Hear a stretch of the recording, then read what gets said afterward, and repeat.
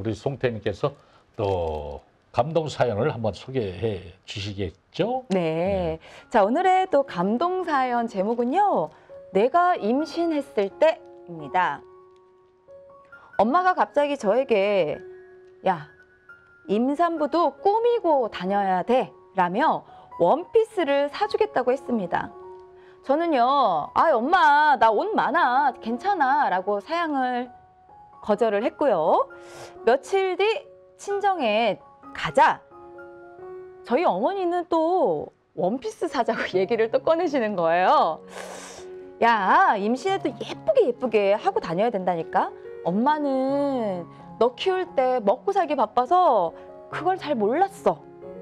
엄마는 휴대전화로 막 사진을, 옷 사진을 막 찍어 오신 거 있잖아요. 보여주면서. 야, 이거는 가격도 괜찮고, 야, 이건 또 이런 디자인이라서 예쁘고, 야, 어때, 어때? 어떤 게 마음에 들어? 이거 사줄까? 저거 사줄까? 라고 자꾸 말씀을 하시는 거였어요.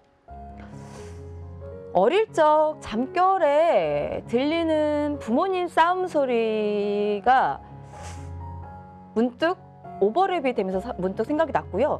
대낮에 고개를 파묻고 흐느끼는 엄마의 모습을 통해 저는 그때 아빠의 외도를 알게 되었습니다. 제가 결혼하고 나서야 엄마는 그때 이야기를 좀 더 구체적으로 해주셨는데요.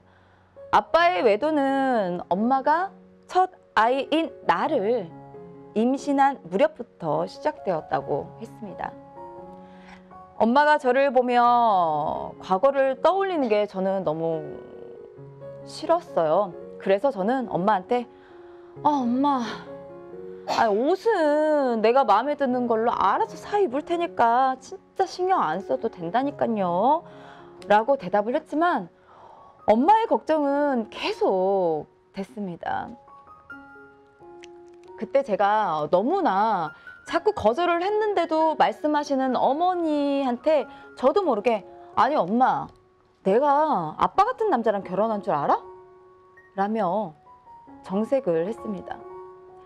외모에 신경 쓰라면서 먹는 건 또 얼마나 권하는지 인산부는 뒤돌아서면 배고프다고 이것저것 챙겨주셨고 저는 신랑이 퇴근길에 뭘 사왔고 같이 무슨 음식을 먹었는지 얘기를 하며 엄마에게 매일매일 안심시켜 드렸습니다.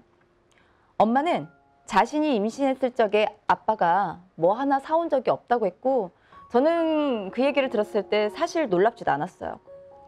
따뜻한 위로나 애정 표현 대신 남편과 잘 지내는 모습을 보여주는 게 제가 저희 어머니에게 할 수 있는 최선이었습니다. 출산이 얼마 남지 않은 여름날 혼자 앉아있는 엄마의 옆모습을 딱 봤는데요. 순간 만삭인 23살의 엄마가 제 눈에 싹 그려졌고 뱃속 아기까지 슬플까봐 울음을 참아야 했던 어린 엄마가 그런 모습에 저도 모르게 눈물이 왈칵 쏟아졌어요.